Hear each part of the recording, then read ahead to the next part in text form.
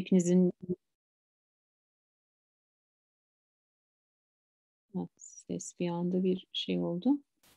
E, duyuyor musunuz sesimi? Duyuyoruz hocam. Araya bir şey girdi de. Me mekanik ventile edilen hastada analjezi ve sedasyonun hani inceliklerinden bahsetmeye e, çalışacağım.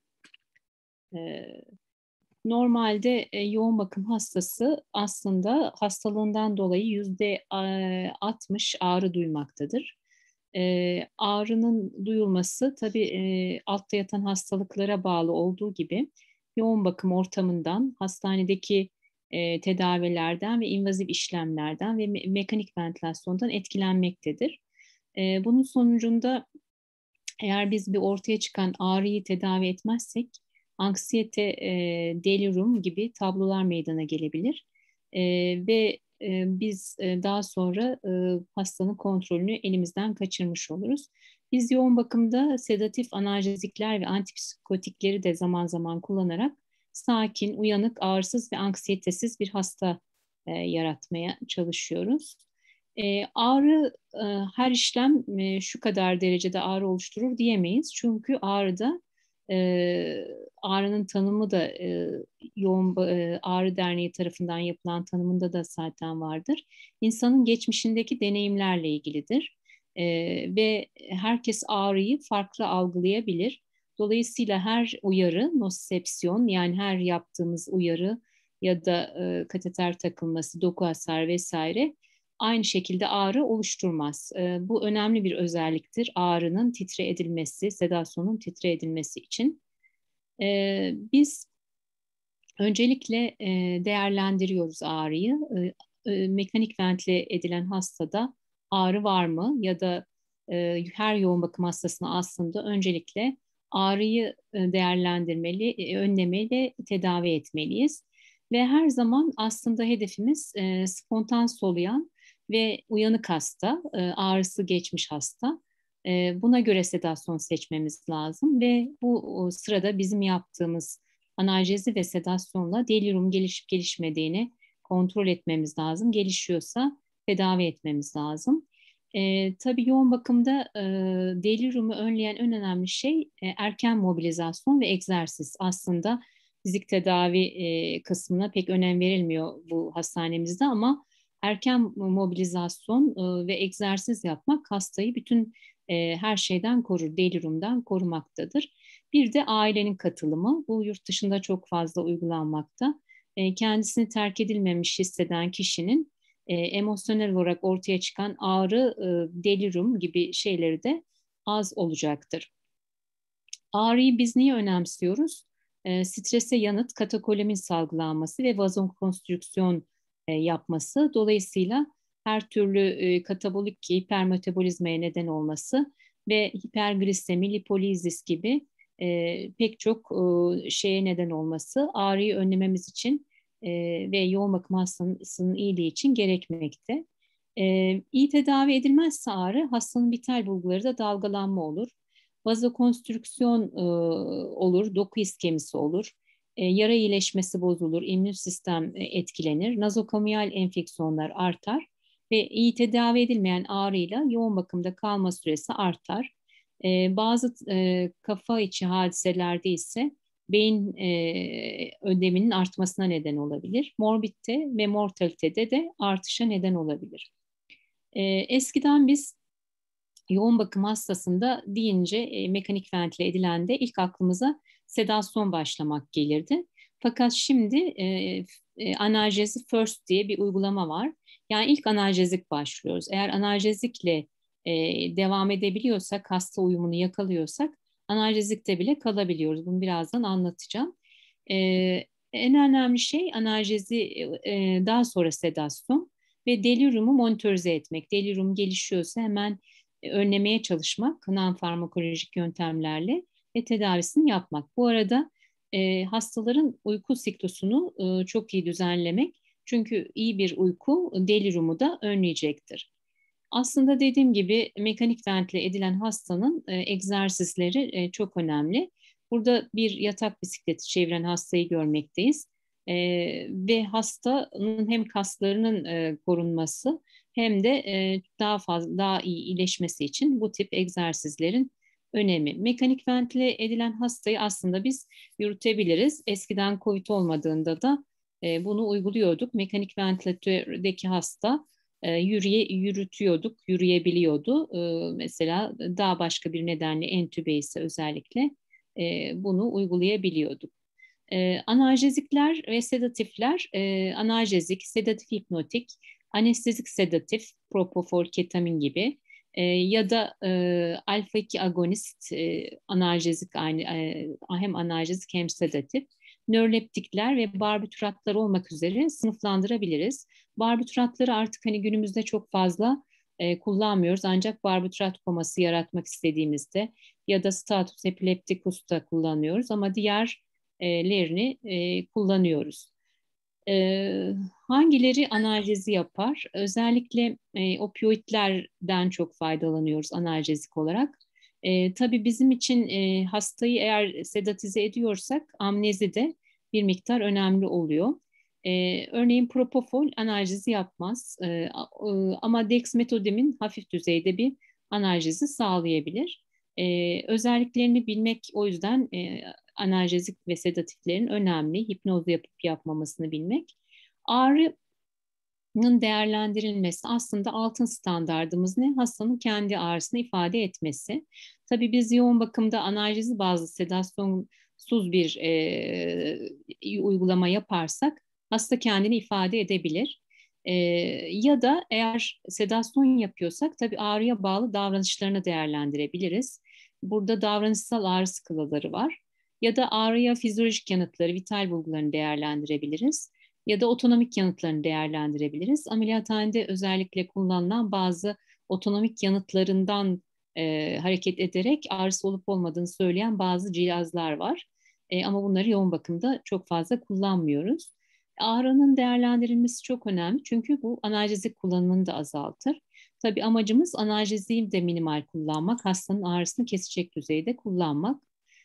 Çünkü az kullanırsak mekanik ventilatörde kalma süresi kısalır, yoğun bakımda kalma süresi de kısalır. E, iletişimi olan hastada ağrı skalalarımız var. Numerik ağrı skalası, verbal ağrı skalası ve vizüel analog skala dediğimiz VAS. Bu skalalar tek boyutlu skalalar. İletişim kuruyorsa hasta kolayca işte ağrısının düzeyini harfle, rakamla ya, ya da işte sözel söylemesini istiyoruz. Bir de çok boyutlu ağrı skalaları var ki bunu yoğun bakımda kullanmıyoruz. Ağrı kliniklerinde kullanılıyor. E, mutlaka ağrıyı e, iletişim varsa bu skalalarla değerlendirebiliriz.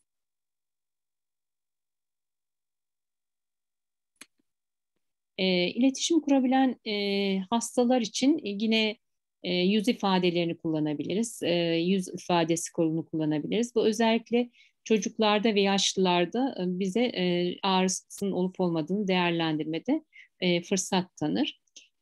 Asıl e, entübe hastada 6 tane skala var. Ağrıya bağlı davranış değerlendirme skalaları. Bunlardan en çok görülen e, behavioral pain skala, davranışsal ağrı skalası en çok kullanılan ve kritik bakım ağrı gözlem ölçeği. Ağrıyı ifade edemeyen ama motor fonksiyonları iyi olan, e, sağlam olan hastalarda e, kullanılabiliyor. Beyin hasarı olan hastalarda bu yöntemde kullanılamaz. Dil problemi olanlarda e, bizi anlamayacağı için kullanılmayabilir. E, davranışsal ağrı ölçeği e, üç parametreyi değerlendiriyor. Birincisi yüz ifadesi, diğeri, diğeri e, ekstremite, üst ekstremite hareketleri ve mekanik ventilasyona uyum. E, toplam e, 12 puan üzerinden değerlendiriliyor. Eğer e, bu skala e, 4'ün üzerindeyse, 4 ve 4'ün üzerindeyse hastanın ağrısı olduğunu bize söylüyor. Yine kritik bakım ağrı gözlem ölçeğinde de entübe ve ekstübe hastalar için iki ayrı seçenek var. Total skor 8 e, ve bu 8 üzerinden e, 4 ve üzeri yine 3 ve e, 4 ve üzeri. E, bir öncekinde 3 ve üzeriydi. Bunda 4 ve üzeri ağrı olduğunu e, bize gösteriyor. Ağrısı olduğunu, hastanın ağrı tedavisi başlamak gerektiğini e, gösteriyor. Vital bulgularını tabii değerlendirebiliriz ama tek başına erişkin yoğun bakım hastasında ağrısı var dedirtemez bize vital bulgular. Çünkü diğer şeylerden de etkilenebilir. E, ağrısız işlemlerde de artabilir ya da ağrı olduğu halde stabil kalabilir. Dolayısıyla e, sadece e, bize bir ön uyarıdır. Onun dışında e, bize tam olarak ağrısını olup olmadığını hastanın söyleyemez. E, biz neler kullanıyoruz? Öncelikle kısaca non-opioid analjezikler e, kullanabiliyoruz ağrıyı kesmek için yoğun bakımda.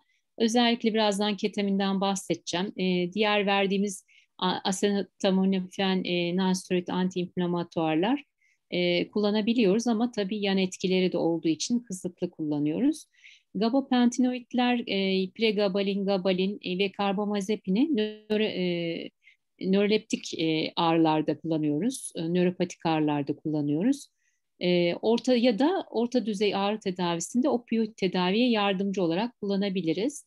E, aslında yoğun bakımda e, multimodal analjezi kullanabiliriz. Bu hem opioidlerin analjezik dozlarını ve yan etkileri sıklığını düşürür ve analjezi arttırır.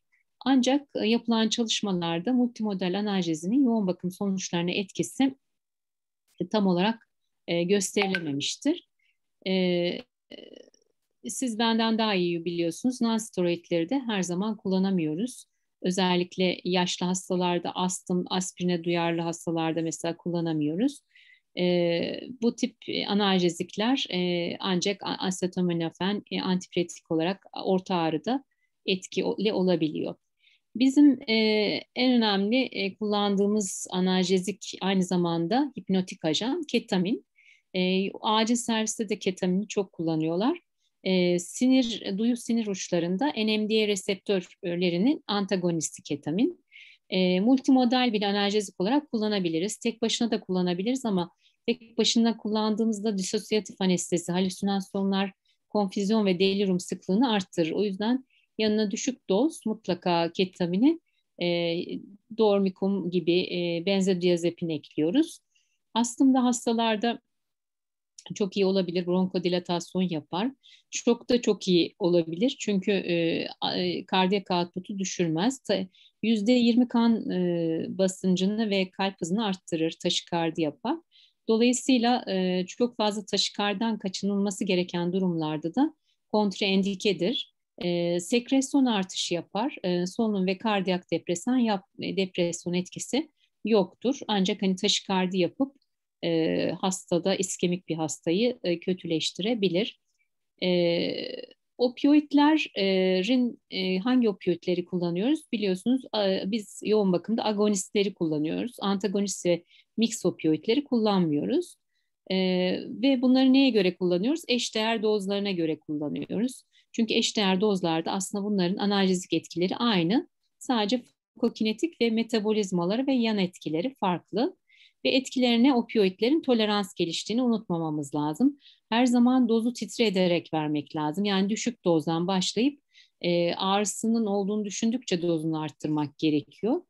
E, hangi opioid deyince e, organ fonksiyonlarını düşünüyoruz. Hastanın e, çabuk yıkılıp uyanması gereken hastaya mesela e, remifentanil gibi ajanlar başlıyoruz. Etki başlama ve süresine göre e, hareket ediyoruz. E, IV opioidleri bolus verebiliriz orta derecede ağrıda. işlem öncesi verebiliriz yoğun bakımda ya da infüzyon tarzında verebiliriz ya da postop ya da bilinci açık hastalarda da e, eline bir e, hasta kontrollü analjezi sistemi koyaraktan e, hem bolus hem infüzyon tarzında hastanın kontrol ettiği bir sistemle de verebiliyoruz. Burada daha sonra bakarsınız diye koydum. Yükleme idame dozları e, var analjeziklerin. E, özellikle fentanil e, grubu ajanlar, sufentanil, e, işte remifentanil, alfentanil gibi ajanlar da var ama biz daha çok yoğun bakımda fentanil ve remifentanili kullanıyoruz. Morfin sülfat e, çok fazla kullanmıyoruz. Özellikle e, metaboliti var. Karaciğer ve renal yetmezliklerde birikir. Nörotoksik metaboliti. O yüzden e, morfin sülfat çok fazla kullanmıyoruz. Bir de etkisi çok uzun. E, remifentanil çok kullanıyoruz. Kız ultra kısa etkili. Yıkıldı, e, bu e, kanda e, esterazlarla yıkıldığı için hemen kapatır kapatmaz 10 dakika içinde remifentanilin etkisi bitiyor. Fakat ani ve ağrı ve rahatsızlık hissi verdiği için bu remifentanil'le çok fazla çekilme sendromu görüyoruz. Dolayısıyla daha çok e, benim de tercih ettiğim sedasyonda fentanil kullanıyoruz. E, daha az hipotansiyon yapıyor. İşte karaciğerde metabolize oluyor ve metabolitleri inaktif e, yani birikmez. Bu yüzden fentanil iyi bir ajan olabilir. Dozlarını burada görüyorsunuz. Tek dozunun etkisi 30-60 dakikadır ama sürekli infüzyon olarak uygulandığında biraz etki, etki süresi uzayabilir. Bunlarda daha sonra bakarsınız diye koydum, slaytları veririm. E, ekvivalan morfinle ekvivalan dozlar diğer e, opioidlerin. Opioidlerin tabii sizlerin de çok iyi bildiği gibi yan etkileri var. Özellikle e, işte en çok nelerden çekiniyoruz? Histamin salana, salanlardan e, çekiniyoruz. Zaten artık çok histamin salan kullanmıyoruz. E, fentanil e, bunu az salgılıyor. Bulantı, kusma, idrar retansiyonu, ileus, konstipasyon yapıyoruz. Bir opioid analjezi kullanıyorsak sedasyon analjezide mutlaka e, ileus olup olmadığını kontrol etmemiz lazım. Paralitik ileus olabilir ve e, bu metil naltrekson periferik opioid reseptör antagonistiyle bu etkileri önleyebiliriz ama ülkemizde de zaten böyle bir uygulama yapmıyoruz. En önemli çekilme ya e, bizim en çok muzdarip olduğumuz şey çekilme sendromu. E, yoğun bakımda kullanılmaması gereken opioidler örneğin meperidin, e, metaboliti çünkü nörotoksik bunun da. E, agonist antagonistleri hiç kullanmıyoruz. E, ancak nalbufini e, mesela e, olsa çekilmeyi e, çekilmede kullanabiliriz. E, metadonu pardon çekilmede kullanabiliriz. Diğerleri çekilmeyi arttırırlar. Bunları yoğun bakımda çok fazla tercih etmiyoruz. Bir haftadan fazla orta ve yüksek dozda opioid alınca beyin nöroadaptasyon gösterdiği için çekilme sendromu başlıyor. Özellikle entübe olup sözel cevap veremeyenlerde huzursuzluk, irritabilite, disfori, anksiyete, delirium ve ağrıyı çok şiddetli algılama gibi e, bir e, sorunla karşımıza geliyor.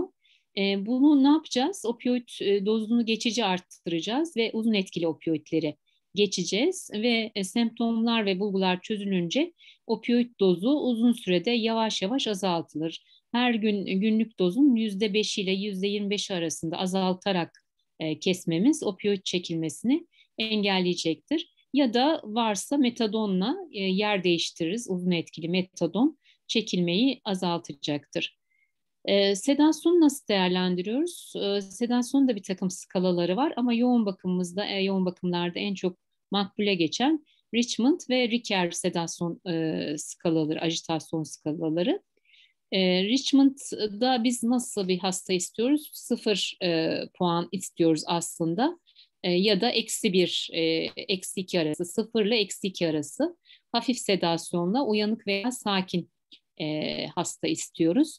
E, dolayısıyla e, Richmond sedasyon skalasına göre, sedasyon skalasına göre sedasyon düzeyimizi ayarlayabiliriz. Yoğun bakımda e, pek kullanmıyoruz ama ameliyathanede biz e, biz spektal indeks monitörü kullanabiliriz. EEG'den e, algılama yapıp e, hastanın e, sedasyon düzeyini veriliyor. Anestezide biz bunu 40-60 düzeyinde tutuyoruz ama sedasyonda 80 ile 100 arasında e, olabilir. E, fakat kas gevşetici verilmeyen hastada bazen yanlış sonuçlar verebilir. O yüzden yoğunda, yoğun bakımdaki kullanımı biraz kısıtlı olmakta. Bir de e, gürültü seviyesi diğer elektronik cihazlarla etkileşerek biz yüksek gösterebilir. E, bazı ilaçlar bisi arttırır. Örneğin beta adrenerjikler, e, bisi azaltanlar da var. Beta antagonistler, ezmalol gibi, dexmedetomidin gibi. E, yani yanıltabilir e, bizi yoğun bakımda da hastalar e, bu tip ilaçları kullandığı zaman. E, anestezik sedatif olarak e, propofol de kullanılabiliriz. Ketaminden bahsetmiştik disosyatif anestezi yaptığını e, koruyucu reflekslerin sürdüğünü, solunumu sürdürdüğünü hastanın e, opioid toleransını azalttığını ve e, aktif metabolite olduğundan bahsetmiştik norketamin. E, propofol ise e, her zaman kullanamıyoruz. E, çünkü e, propofol infüzyon sendromu denilen özel bir durum yaratıyor. Bundan da bahsedeceğim. E, propofol infüzyon sendromu en önemli komplikasyonu aslında ve e, periferik rezistans, vasküler rezistansı çok düşürdüğü için özellikle bolus dozları sonrasında hipotansiyon ve brodikardi çok fazla görülür. Negatif inotrop etkisi de var. Serebral metabolizmayı ve aslında intrakraniyal basıncı azaltır. Beyin cerrahları çok e, sever bunu. E, serebral metabolizmayı azalttığı için, e, kafa içi basıncını azalttığı için. Karaciğer ve e, böbrek yetmezliklerinde metabolizması e, çok fazla değişmez. E, bu e, GABA A reseptörünü e, üzerinden etkili lipofilik bir ajan e, yağ var içinde. Dolayısıyla kontaminasyon riski çok fazla. Belki sizler de duymuşsunuzdur. E, bir e, serinin içi e, kontamine olduğu için hastalar sepsise girdi bir hastanede. E, o yüzden infüzyon yaparken çok dikkat etmemiz lazım. 12 saatte bir setleri değiştirmemiz lazım. E, solunum ve santral sinir sistemi depresif etki, e, diğer depresanlar ile etkisi artar. Bazen böyle yeşil idrar rengi yapabilir. Hani propofol verdiğimizde şaşırmamak lazım. Yeşil idrar e, çıkarabilir hasta. E, kas gevşetici etkisi de hafif var ama e, analjezik etkisi yok dedik. 48 saatten kısa kullanınca etkisi 3-5-10 dakikada biter. Uzun süre infüzyonda etkisi uzayabilir. Tam olarak e, bilinmemekte ne kadar etkisi oldu ama e, infüzyonun miktarına ve dozuna göre etkisi de değişkenlik göstermekte. E, pankreatit yapabilir, hipertrigliseridemi yapabilir içindeki lipid nedeniyle. E, fazla kalori alımına neden olabilir. Bu lipidli bir solüsyon olduğu için mililitresinde 1.1 kalori var. Yani bunu da katmak gerekir aldığı kalorilere. E, propofol infüzyon sendromu dedik. E, mortalitesi çok yüksek bir sendrom. E, refrakter bradikardi, ciddi metabolik asitoz, kardiyovasküler kollaps, rhabdomyolis, hiperlipidemi, ABY e, tablosu hepatomegali e, gelişir. Bunu hemen fark edip ilacı durdurmak ve propofol e, ilacını durdurduktan sonra destekleyici tedavi yapmak çok önemlidir. Özellikle uzun süre 48 saatten fazla e, yüksek dozda infüzyon alanlarda, beraberinde steroid kullananlarda e, bu e, propofol infüzyon e, sendromu görülme sıklığı artar. Arteriyel kan gazı takibi, e, laktat yükselir, CPK yükselir, trigliseritler yükselir. Bunlarla erken tanı konabilir. Dexmedetomidin bunu aslında e, solunumu depresi etmediği için alfa-2 agonist e, sedatif e, semptoma e, sempatolitik etkili anksiyolizis yapıyor. Orta düzeyde bir analjezi yapıyor. Solunuma etkisi olmadığı için mekanik ventilatörde olmayan hastalarda da kullanıyoruz. E, ancak uzun süre yüksek doz 5 günden fazla e, kullanılırsa çekilme bu da çekilme sendromu yapabilir. E, ama normalde daha az delirium yapar, e, titremeyi azaltır. E, dexmetodimin solunumu deprese etmiyor. E, en fazla yükleme dozu yaptığımızda bradikardi yalnız çok ciddi potansiyon bradikardi yapabilir. Kesildiğinde ani kesilmez. Ani kesildiğinde hipertansiyon yapabilir. E, çekilme olarak kendisini gösterir. Dolayısıyla yavaş kesilmesi gerekir. E, karaciğer böbrek yetmezliğinde de doz azaltılması gerekir. Özellikle karaciğerden metabolize olup böbreklerden atılıyor. E, midazolam e, hepiniz çok iyi biliyorsunuz. E, aktif metaboliti vardır bunun önemli özelliği. E, öz, özellikle bu aktif metabolit e, karaciğer ve böbrek yetmezliğinde etkisi uzar, e, birikir. E, delirium riski midazolamda özellikle uzun süre yüksek doz kullanımda deliriumu arttırır. Lorazepam e, ise ülkemizde e, IV preparatı yok ama olsaydı propilen glikol e, var içinde. Uzun süre... Oğlum uğultu şeklinde geliyor diye buraya geldim lan. Bir dur. Git oğlum Furkan içeri. Git annen getirecek babacığım ne istiyorsan. Hmm, ses açık kaldı herhalde. Ee, uzun infüzyonda propilen glikol e, birikir ve metabolik asitoz oluşabilir lorazepamla. Ama biz zaten bizde yok. Ativan tablet olarak bunu kullanıyoruz. Diazepam da yine e, çok fazla kullanmıyoruz. Ne zaman kullanıyoruz? Bunda aktif iki tane metaboliti var.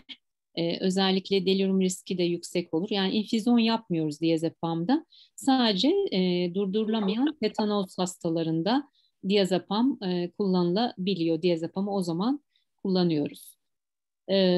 GABA'nın klorür kanalını açıyor hepinizin bildiği gibi. etkisini kolaylaştırıyor. Düşük dozda anksiyolizis yapıyor. yalnız benzodiazepinlere tolerans gelişir. Antikonvizan olduğunu hepimiz biliyoruz. Tolerans geliştikçe giderek daha fazla dozla aynı etki sağlanır. aktif metaboliti var dedik midazolamın, lorazepamın yok dedik. Diazepamın iki tane aktif metaboliti var. O yüzden infüzyonunu çok fazla önermiyoruz. E, önerilmiyor. E, Delirum dedik. Delirum tabii hastaya bağlı nedenlerle olduğu gibi e, bizim sedatif ajanlarla da e, delirum olabilir. Önemli olan bu delirumu erken tanımak. E, diğer hast şeylere bağlı patofizyolojisi çok kompleks. Nöroinflamasyon delirumda esas patofizyolojide önemli diye düşünülüyor. Aslında bir hiperaktif delirumu hepimiz tanıyoruz. Önemli olan hipoaktif delirim. E, hiperaktifi herkes tanıyor. Hipoaktifi tanımak. E, özellikle psikiyatri konsültasyonlarında istenen konsültasyon vakalarının yüzde kırkı hipoaktif delirum çıkıyor. E, uyanıklılıkta azalma, bizimle kontak kurmada azalma, psikomotor aktivitede azalma oluyor. E, Gördüğümüz gibi medikal tedaviler açısından, açısından delirium yapan en çok e, ilaç çekilmesi bizim sedasyon, derin ya da çok yüzeyel sedasyon e, ya da analjezi analjezik almadan e, sedasyon yapılması deliriumu arttırıyor. Benzodiazepinlerde en önemli delirium yapan sedatif ajanlardan. E, deliriumu yoğun bakımda iletişim problemi nedeniyle bazı skalaları kullanamıyoruz ama e, cam suyu dediğimiz konfüzyon değerlendirme metodu ya da yoğun bakım delirium e, screening checklist kolaylıkla hasta başında yapılabilir. Bu iki yöntemde deliriumu sadece değerlendiriyor. Ciddiyetini kesinlikle bize göstermiyor. E, bu skalaları da e, biliyorsunuz zaten e, kolay yapılan skalalar. E, delirium var ya da yok diye bize e, söylüyor. E, yine aynı şekilde e, Delirum izlem kontrol listesi. Her madde 8 madde değerlendiriliyor. Her madde skoru 0 veya 1. E, skor 1 ile 3 subsendromal delirium olabiliyor. Skor 4 ve üzerinde ise delirium olduğunu kesin olarak söyleyebiliyor bu skorda. E, bu e, kısaca analjizlikler ve e, şeylerden bahs e, değerlendirme yöntemlerinden bahsettikten sonra e, aslında yoğun bakımda e, uygulamamız gereken protokolize analjezi ve sedasyon. E, burada bir çalışmada neurocritical care'de yapılmış. E, protokol yani yoğun bakım ünitesinde bir proto analjezi sedasyon protokolü varsa e, analjezik kullanımını arttırdığı, sedatif kullanımı azalttığı ve e, maliyeti azalttığını söylüyor. Çünkü hastane mekanik ventilatörde kalış süresi ve yoğun bakımda kalış süresini kısalttığı protokolize analjezi setasyon e, gösterilmiş. Bu bir e, yoğun bakımın, tabii e, bu protokoller kısmen de yoğun bakımın özelliklerine göre dizayn edilmeli. E, bu bir e, yurt dışında fellowship programında olan bir e, protokol. E, bir haftadan fazla örneğin midazolam vermemiz gerekiyorsa delirium olup olmadığını mutlaka değerlendirmemiz lazım. Hatta bir haftayı geçince e, bir e, şey yapmamız lazım. Yani e, analjezik, e, sedatif e, değişimi, sedasyon değişimi yapmamız lazım. Propofole geçmemiz lazım. Weaning düşünülüyorsa dexmetodimine geçilebilir. E, bu tip protokolleri izleyerek sedasyon ihtiyacı hastanın değerlendirilebilir. Derin sedasyon ihtiyacı olup olmadığı şey yapar, düşünülür. E, ondan sonra hemodinamik instabilite var olup olmadığına bakarak, e, bilinç muayenesi gerekli mi değil mi bakarak, e, kas gevşetici gerekli olup olmadığına bakarak e, bu şekilde ilerlenebilir. E, yoğun bakımda kas gevşeticiyi de analjezi ve sedasyona ek olarak zaman zaman çok ağır ara deselerde ki COVID'de kullandık, e, kullanıyoruz. E, PF oranı 100'ün altındaysa genellikle 150'nin altındaysa e, tavsiye ediliyor nöromüsküler blokör. Nöromüsküler blokör kullanıyorsak da mutlaka onu da TOF monitorizasyonu var. onunla monitörize edip düzeyini ayarlamamız gerekiyor. Burada yine analjezi bazlı sedasyonla başlıyoruz. Remifentanil ile başlıyoruz. Daha sonra e, muayene yapıyoruz. 4-6 saat arayla değerlendiriyoruz. Delirium olup olmadığını e, bakıyoruz. E, daha sonra derin sedasyon ihtiyacı olup olmadığına bakıyoruz. E, işte e, ona göre sedasyon ihtiyacı varsa e, öncelikle kısa etkili propofol eklenebiliyor. Fakat tabii uzun süre kullanmamız gerekecekse e, propofol infüzyon sendromunu takip etmemiz gerekiyor. E, ve hasta eğer ekstübe olacaksa, e, eğer yetmiyorsa remifentanil propofol dozlarını protokole göre arttırıyoruz. Aslında yurt dışında bu protokoller oluşturulmuş. Hemşireler kendi kendine değerlendirip protokolleri uyguluyorlar. Bilinçli sedasyon diye bir kavram var ki bizde COVID öncesi ben her zaman bilinçli sedasyon e, uyguluyordum. E, kognitif fonksiyonları bozmayacak e, şekilde e, bilinçli sedasyon kullanılması önemli. E, özellikle e, delirium ve sedatif analjezikler e, açısından e, değerlendirilmeli. Bilinçli sedasyonda önemli. E, derin sedasyon için indikasyon yoksa e, kullanmamız mekanik ventilatörde kalış süresi, yoğun bakımda kalışı, ventilatör ilişkili pneumoni ve pneumoni ve mortaliteyi arttırmakta. E, dolayısıyla bilinçli sedasyon yapmamız e, hasta açısından e, önem arz etmekte. E, derin sedasyonda nörotoksite riski de var, kognitif fonksiyonlar bozulma riski de var, miyopati riski var. E, bunlara ek olarak e, dediğim gibi mortalite artabiliyor. E, neden bilinçli sedasyon yapmamız lazım? Hastanın katılımının artması, ağrıyı kontrol etmek, e, weaning denemelerinin sıklığını arttırarak mekanik ventilatörde kalma süresini kısaltmak, rehabilitasyon ve erken mobilizasyon sağlamak, hastanın aktif katılımını sağlamak.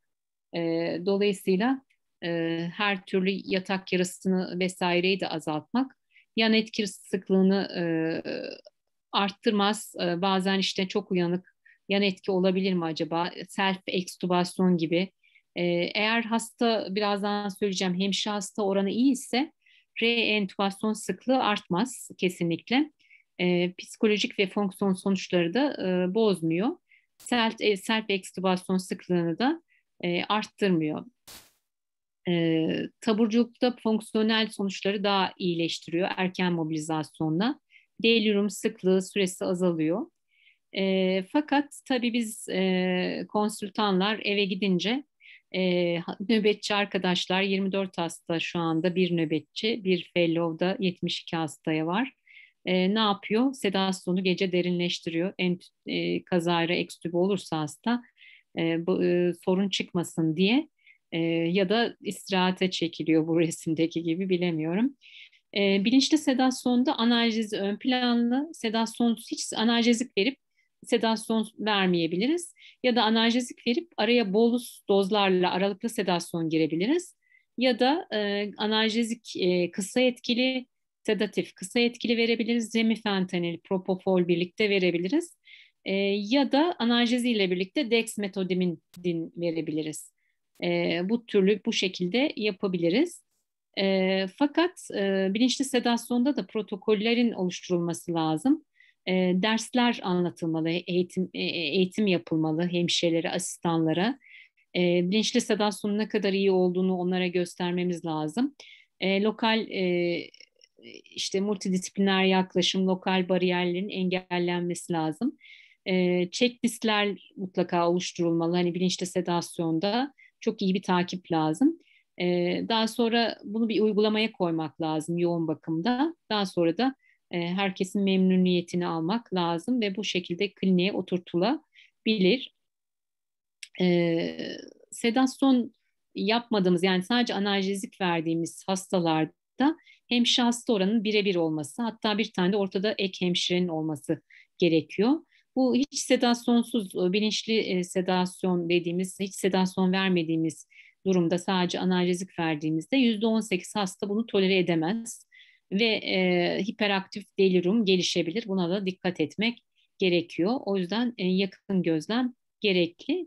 E, ya da aralıklı sedasyon e, verilebilir. Yani fentanil verilip midazolam dozları e, boluslar şeklinde uygulanabilir e, ve RAS skalaları takip edilebilir.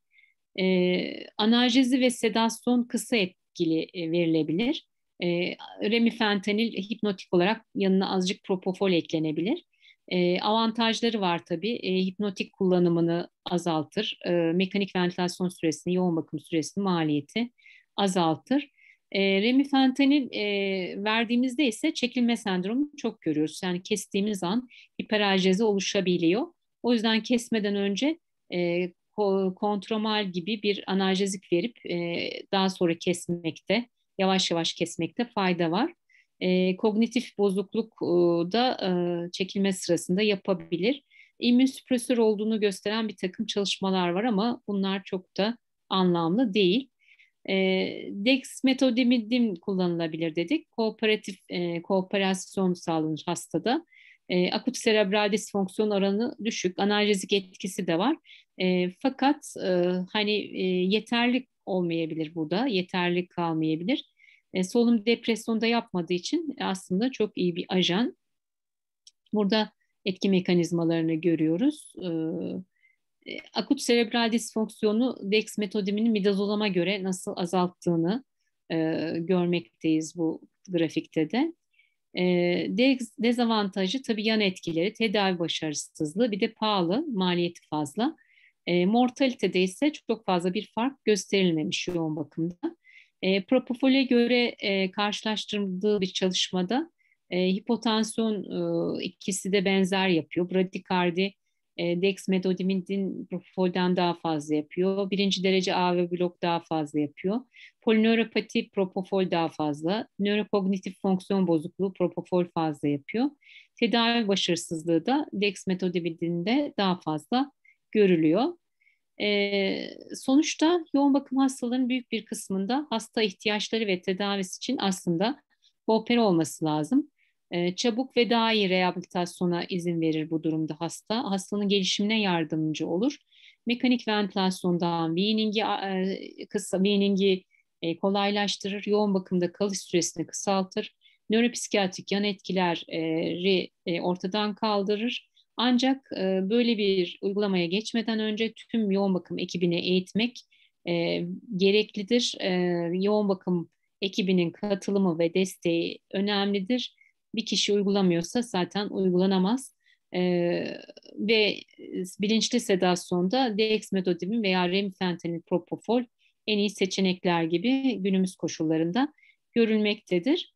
Her ünite özgü olmalıdır. Ünitenin özelliklerine göre şekillendirilmelidir. E, istenen sedasyon düzeyine göre çeşitlendirilmiş e, protokoller hazırlanmalıdır.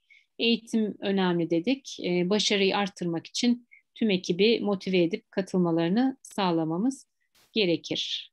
E, benim anlatacaklarım bu kadar. Teşekkür ederim. Biraz uzun da sürdü zaten herhalde. Yok hayır gayet iyiydi. Teşekkür ediyoruz. Ağzınıza sağlık. Ee, ben teşekkür ederim Selma Hocam. Evet Seval Hocam biraz geç katılabildik. Benim bilgisayarda bir sorun oldu. Olsun. Arkadaşlardan e, sorusu olan yoğun bakımlarda bizlerle çalışanlar var aralarında. Hani Evet. E, onlar da aslında bir, bir kısmı tecrübeli ama Hani sorusu olanları alabiliriz. Herhalde sorusu olan yok. Aslında e, sağ olun. E, bu konuda bizim asistanlarımıza çok ciddi destek veriyorsunuz. E, bize çünkü bir miktar e, dahiliye branşına uzak bir konu. E, evet. Sedasyon. Ama sayenizde asistanlarımız bu konuda gayet iyi eğitiliyorlar. Benim gördüğüm kadarıyla. Elinize ve emeğinize sağlık diyorum. Ee, sorusu olan yoksa biz teşekkür edelim katkılarınız için. Ben çok faydalandım kendi adıma. Ee, ama sürekli okumak gerektiğini bir kez daha fark ediyoruz tabii ki. Evet aslında e, tabii hani okumanın yanında mesela DEX metodunun çekilme yaptığını hani ben de deneyerek gördüm. Ee, sonra bir baktım ki literatürde öyle vakalar var. Aslında başına gelince de bir çekilme olabileceğini bir e, mutlaka ak- akıl etmek lazım. Çekilme sendromu mu değil mi? E, yani bu tip şeyler e, biraz da kullanılarak oluyor. Hani okumak tabii ki çok önemli hocam haklısınız. Ama kullanıp da denemek e, ondan mı olduğunu anlamak e, çok önemli. Şirinlikle mesela çok etkileşiyor bizim e, opioidler. Serotonin evet. sendromu olabiliyor. Onu arkadaşlar da söylüyorum her şeyde. Sizin tecrübelerinizden de sizin yanınıza gelerek faydalanıyorlar. Çok teşekkür ediyoruz. Teşekkür ederim. Ağzınıza sağlık. Için. Sağ olun. İyi akşamlar. İyi akşamlar.